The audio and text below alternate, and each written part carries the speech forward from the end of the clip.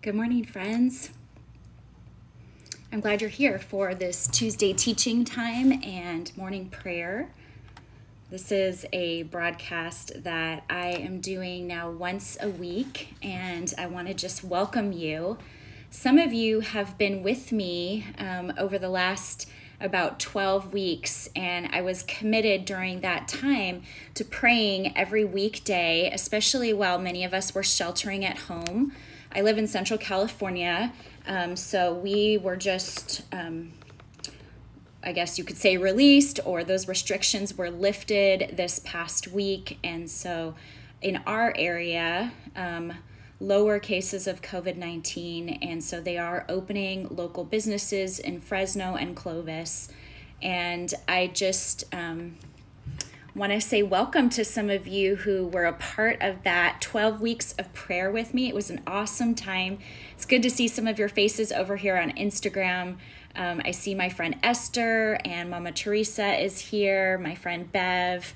I see um, Yasmin and I see that my parents, my husband are here with me. Um, I'm going to continue now to be praying on Tuesday mornings and trying to get our um, our Facebook to work over here. We've been having lots of problems with Facebook, and I've been noticing that some of my friends are as well. Um, so just gonna share a little message over there. But for those of you on Instagram, I just want to say welcome. This for me is important that we would take time to pray together. And of course, um, in this already difficult and challenging season of COVID 19, now in the last um, few weeks, we have been faced with also um, even more challenges, although this has been going on, this injustice has been going on for a long time in our country.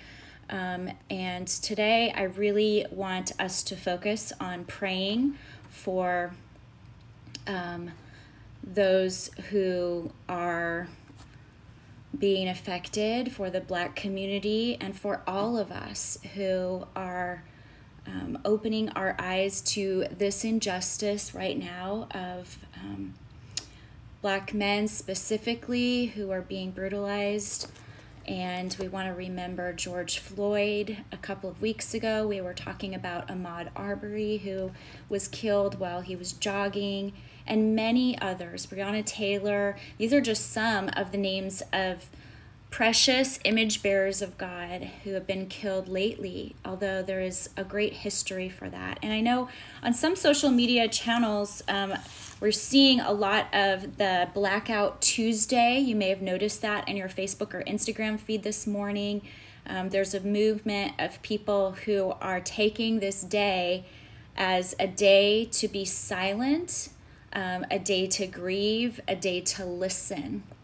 And they're calling it Blackout Tuesday um, just to observe that time. So I want to just join in that by continuing what I already had planned. And I don't think it was an accident um, that today I would just spend this time in prayer and that we would specifically pray against racism and for justice in our country. And so I want to um, share with you some scripture as I always do, and I want to just reflect together and have a time of grief, a time of lament, a time where we listen to what our Heavenly Father says to us about action during this time. Um, last Friday, I had the opportunity to share with you from the book of Esther. And if you didn't get to hear that broadcast, um, I just want to encourage you to go back on Facebook. The video is there as well as on Instagram if you go to my IGTV. But I just talked about what Esther did in the face of racism. Esther, um, when she found out about this edict to annihilate the Jews, which were her people, her response was to pray. Her response, along with her uncle or her older cousin Mordecai, was to lament and to grieve and to fast. And Esther gathered the people, Mordecai gathered the people on behalf of Esther, and they took three days for fasting and praying before she took strategic action. So I just want to summarize that as I talked in depth about it on Friday, but I want to do that today. I want us to practice that today, just following the example of Esther. And it's important, I think, that we go to the scriptures always and first that we go to the scriptures and see what it is that God is showing us through the scriptures. So, one of the passages that came to mind that I wanted to read from today is in Zechariah chapter 7, verses 8 through 10. Zechariah chapter 7, verses 8 through 10. If you're not familiar with Zechariah, this is a book, one of the prophets. Um, it's kind of towards the end of the Old Testament if you want to follow along with me, or you can just listen and maybe look up the whole section, the whole chapter later. Um, but the prophet Zechariah spoke to the people who had returned from the Babylonian exile to Jerusalem and to Judah. And this message, um, this ministry that Zechariah had in sharing the heart of God was really to urge the people to obedience, to prayer, to understanding of the power of the Spirit of God, and to repentance.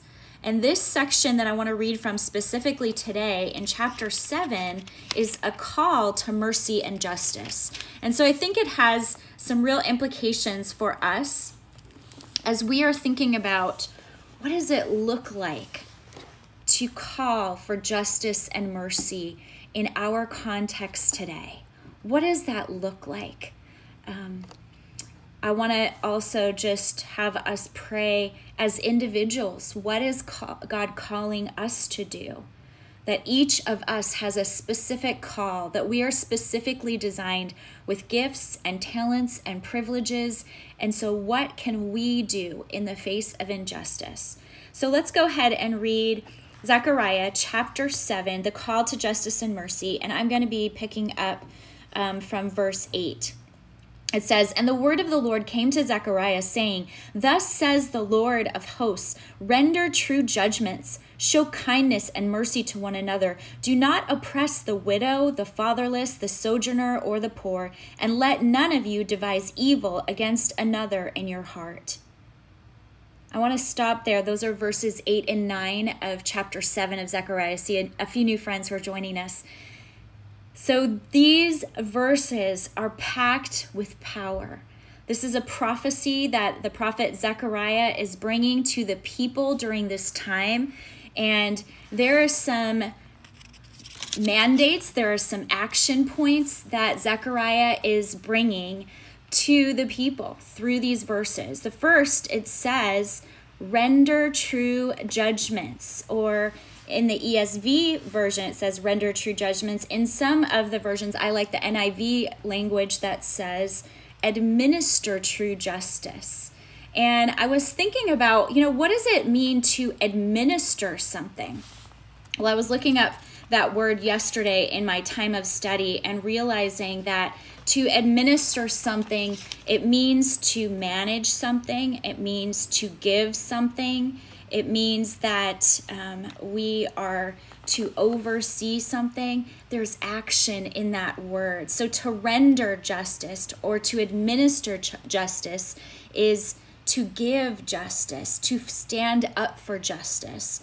And that's what Zechariah is talking about here. But it's so interesting because he also follows up with these words show kindness and mercy to one another.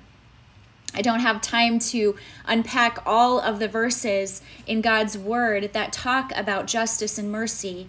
But in doing a study on this um, several years ago, I saw that justice and mercy are often talked about together. In fact, the words for justice and mercy, mishpat in the Hebrew for justice, and hesed in the Hebrew for mercy. These two kind of go hand in hand. And I literally think about them holding hands, how important it is for us to think about justice and mercy together. And here in Zechariah, it's just another example of how justice and mercy go hand in hand. So it says, render true judgments, show kindness and mercy to one another. So, in our fight for justice, in the ways that God is calling us today to stand up for justice, to stand up for our black brothers and sisters, to stand up against racism, systematic racism that has been part of our country's history for years. This is something that we need to pay attention to as well. That in that process that we show kindness and mercy to one another. It goes on to say, Do not oppress the widow, the fatherless, the sojourner, or the poor, and let none of you devise evil against another in your heart. I love that this is part of what Zechariah uses in sharing God's word to kind of break it down. And our God, He has a heart for the vulnerable. Again, these words, these groups of people are mentioned not just this one time in Zechariah, but often throughout the Old Testament. And we know if we study the ministry of Jesus that this was also his heart, that he cared deeply about the widow, about the fatherless or the orphan, about the sojourner, the immigrant, um, the foreigner, in some cases the word, and he cared deeply about the poor. Um, I read a book called Generous Justice, and in that book, it talks about this idea of the quartet of the vulnerable. So, these four groups that are talked about right here in Zechariah and talked about many times throughout the scripture, um, it talks about how God has a heart for these people. And so, for us, if we are followers of Christ, if we are believers, we also must share this heart. We must pursue this heart that God has for justice and kindness and mercy, and specifically for the widow, the fatherless, the sojourner, and the poor. And that we should not devise evil against another in our hearts. And so this is a tricky time, right? We see that there is much going on in our country right now. There are peaceful protests I was so encouraged to see here in my own city of Fresno.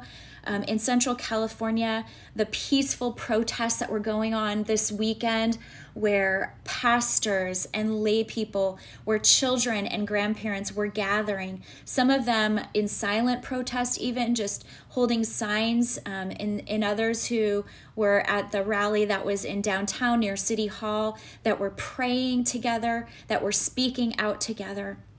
And I am encouraged by the way that they were lifting their voices, but with a spirit of kindness and mercy, and being able to share their hearts and their lament with that kindness and mercy. But we also see that there is unrest, that there is violence, there are difficult things that are happening across our country. And it's hard for us sometimes to sort through that.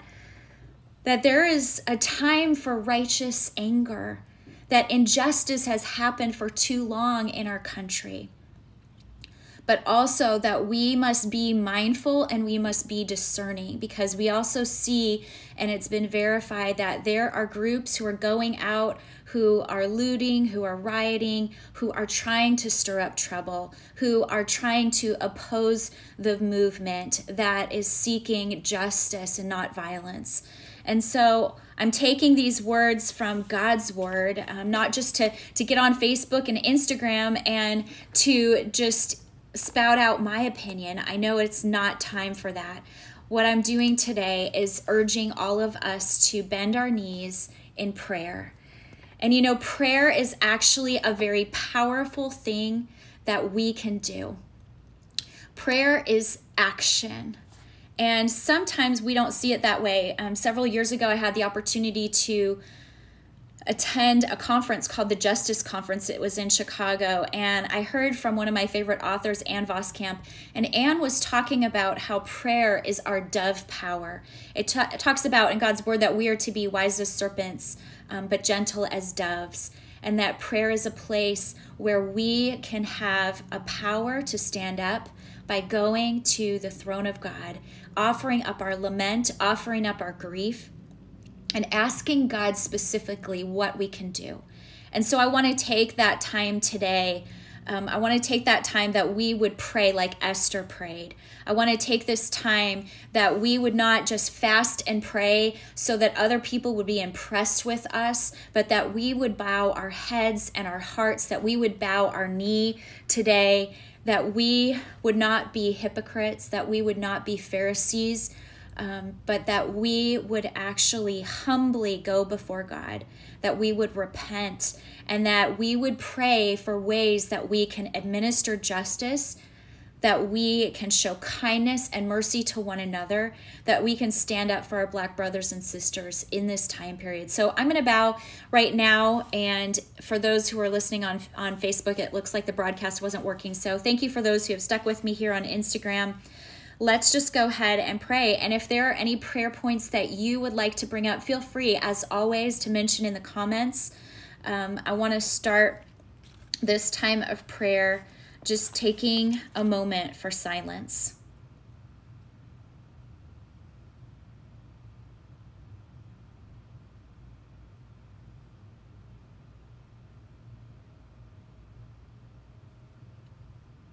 Lord Jesus, we thank you for today. We humbly come before you on this Tuesday. Lord, we pray on behalf of those who are suffering today we know that you have a heart for those who are suffering. We know that you have a heart for the most vulnerable. And it tells us in your word over and over again that you are a God of justice and a God of mercy. That in your character that justice and mercy go hand in hand.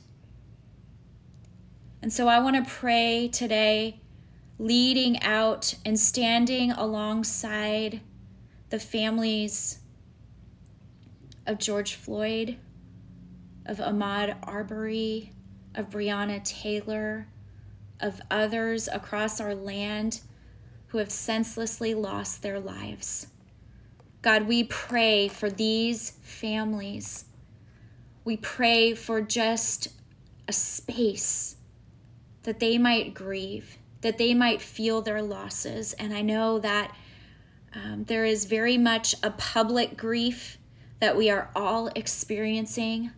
But I want to start by praying for that personal grief for those families right now who are suffering, for those families who are grieving the loss of their loved ones.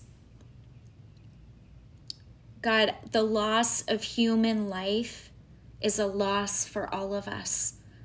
And I pray that our hearts would be broken even as these families' hearts are broken in this loss. Lord, show us. Show us what you would have us to do. God, we cry out today in lament. We cry out saying, No more. No more killing of image bearers no more loss of life. God, would you have mercy on us for all of us who have participated, whether intentionally or unintentionally, in the racism that pervades this country? God, we repent. I pray, Lord, that we would care for the things that matter most to you, as it says in your word. I think about Matthew 23, how it talks about your heart for justice and mercy and faithfulness. God, would we be faithful to you during this time? I pray that we would not be like those who are so obsessed with religious practice, with prayer and fasting in public so that others would see us and give us glory because we know that all of the glory belongs to you, Lord. And so I am praying today for humility for all of us. I know that some of us need to sit in the quiet today.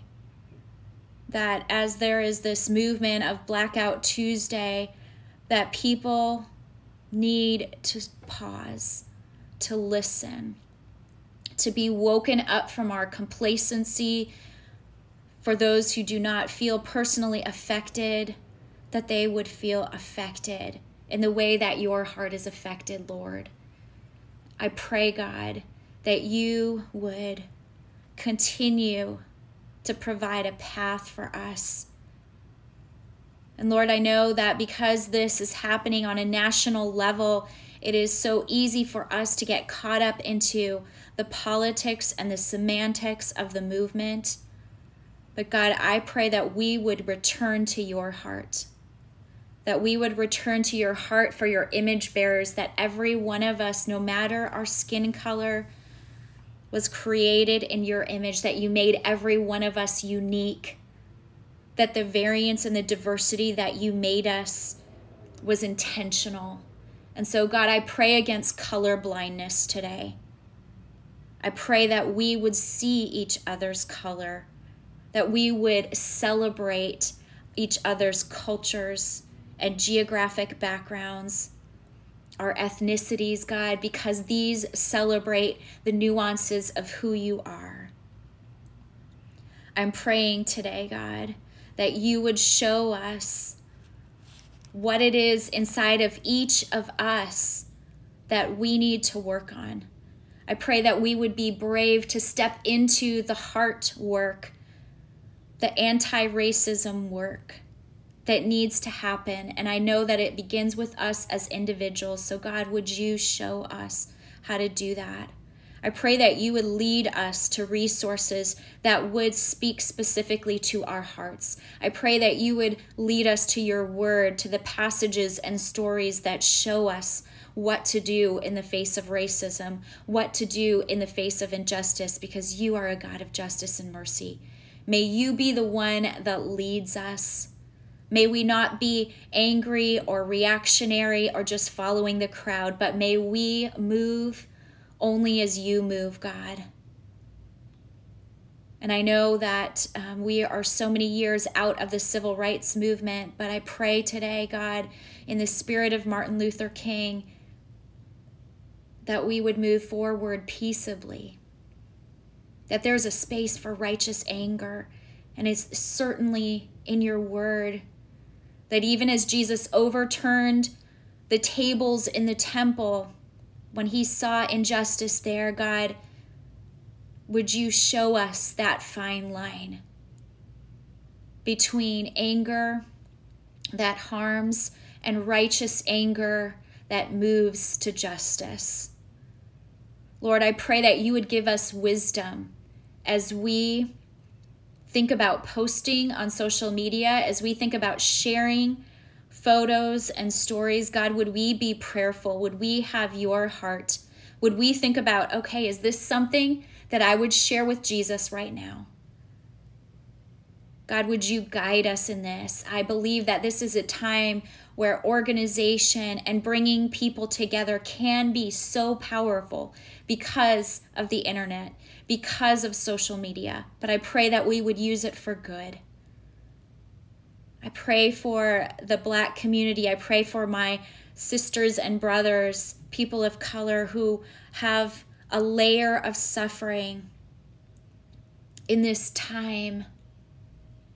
God, I pray that you would lift up their hearts, that you would be Yahweh, that you would put breath into their lungs, into their spirits, that they would walk in their grief with a sense of hope, with a sense of courage and strength and power that only comes through you, God. We denounce racism in this country. We denounce this injustice. We link arms because we know that you have designed us to flourish together, that you have designed us to be in community, and that even in our diversity that there can be unity. So i pray for that today. I pray for all of the cities across the united states who have been experiencing violence and unrest. I pray for the businesses that have been broken into the looting that has been happening god.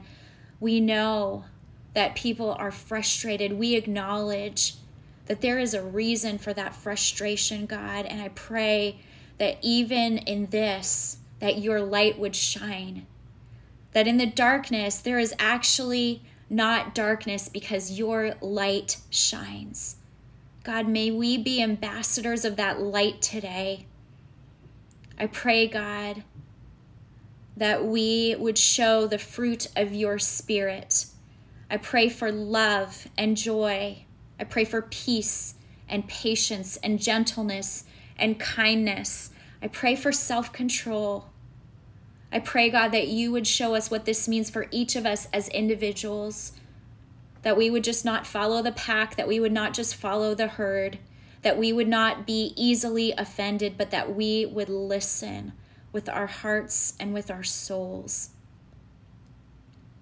God, I thank you for the guidance that is in your word. And so I pray just these words of Zechariah that we looked at this morning in chapter 7. I pray that you would show us, because you are the Lord of hosts, I pray that you would show us how to administer true justice, how to stand up for justice. I know that looks different for every one of us, God but give us specific action points. I pray that you would empower us to show kindness and mercy even to those who are difficult to love, even those who rub us the wrong way, who make a comment that is hurtful, God, I pray that you would give us kindness and mercy for them. It's not to back down, but it's to live with the kindness and mercy, the mishpat and hesed that you model all throughout your word. And I pray for those who have been oppressed. I pray for the widow, the fatherless, the sojourner, the immigrant, the poor. I pray for black brothers and sisters. I pray for people of color. God, help us not to be like those in Zechariah's time who refused to pay attention, who turned a stubborn shoulder. God, may we be ambassadors of your love and light. And I pray that in Jesus' precious name today. Amen. Thank you, friends, for joining me here on Instagram for this time of prayer this morning. I will be here every Tuesday now for Tuesday teaching and a time of prayer. Just want to continue to um, lift up all those who are suffering in our country and it just so happened that today on this um, blackout tuesday as some of some people are calling it that i had already planned this prayer gathering. I want to urge you to continue to pray to pray in your homes to pray with your people. Maybe even if it requires getting on zoom or facebook that we would unite in prayer that we would bend our knees in prayer as our first step of action against this injustice that is happening in our country and I also want to empower you with some resources. You know that I love sharing books and resources. And so there's a couple of things that I want to offer you today that are written by some of my friends. This workbook called What Lies Between Us is written by my friend Lucretia Berry, Dr. Lucretia Carter Berry. And this um, this book is a journal and a guide just really to foster first steps toward racial healing um, Lucretia is a dear friend of mine who writes for the same website, Encourage, that I write for as well. And I've had the privilege of getting to know her and hearing her heart and her life work. Not just reactionary work right now because of what's happening in her time, but the work that she's devoted her life to is in educating people towards racial healing. It is anti racism work. And so I just want to urge you to check out her website, Brownicity Com. She also has a Facebook group and she offers courses. She offers resource guides and lists. Um, she offers great resources, especially for parents who want to navigate this with their children. And I love the work that Dr. Lucretia Berry is doing right now. I've had the privilege of being able to sit under her teaching and some of her resources. So I highly recommend checking her out. What Lies Between Us is the journal and guidebook that she wrote, and that's available on Amazon. I'll put the link in the comments for you. And also, this is another book I want to recommend by Kathy Khang that just was released more recently. This book is called Raise Your Voice, and mine just arrived yesterday in the mail. Um, and it's a book that is very important, I think, for those of us maybe who are not used to speaking up. She talks about how God has given every one of us a voice and that we have permission to use it. And so I want to urge you to check out this book if you are asking that question well, how do I raise my voice? How do I speak up in this situation? I don't know exactly what I'm supposed to do. Or maybe you haven't been involved in these types of conversations before. It begins with the heart work And that's why what lies between us and Brownicity is such a great place to start. But then we are also called to use our voices. And I want to read just a short quote from Kathy's book, Raise Your Voice. Um, there's so many great, great quotes in this book, but I was just reading this this morning. And she also is talking about the story of Esther as a model for us of what we can do to pray first, to grieve first, to lament and fast, but then to move into strategic action. And this is what Kathy writes Our individual comfort and safety should always be at risk if we are living out the gospel. When Jesus asks if we are willing to take up the cross, it isn't a comfortable, custom fit cross with memory foam and cotton sheets.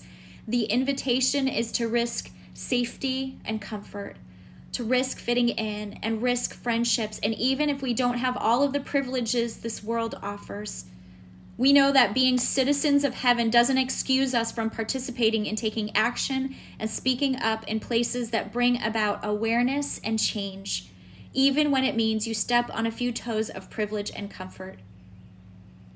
I love this call to action, and I was personally convicted as I was already digging into this book um, over the last 24 hours. So, again, I would urge you to check out Kathy Khang's Raise Your Voice. It gives us some great action steps with a biblical foundation of how we can speak up. And even though this book was released earlier, it wasn't written just for this time, it is for such a time as this. It gives us the tools that we need. This book came out in 2018 from IVP Books, and I highly recommend looking at IVP books. They have some wonderful resources, many that I've mentioned before, especially if you want to do anti racism work in your heart and in your community. So, friends, thanks for spending this time with me this morning. I love that we get to unite um, through Facebook and Instagram through this technology. And I'm praying for each one of you. I'm praying for wisdom, for mercy, for justice, and that God would show you a pathway that you can walk in during this time, friends. And so I look forward to seeing you again next Tuesday. For any of those who would like to stay in contact more personally, check out my website, Dorinagilmore.com, and you can sign up there for my Glorygram, which is a weekly word that I send out to friends that includes encouragement and recommendations and resources. Bless you, and I'll see you next Tuesday.